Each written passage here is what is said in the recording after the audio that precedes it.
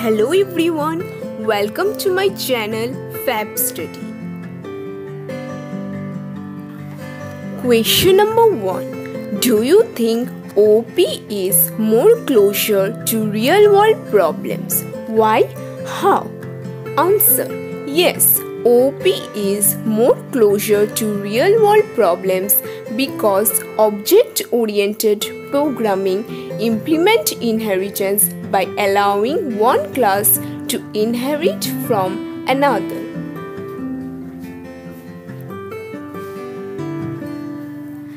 Thus, a model developed by languages is much more closer to the real world. By implementing inheritance, real world relations among objects can be represented programmatically. Question number 2. Write a short note on inheritance. Answer. Inheritance is a mechanism in which one class acquires the property of another class.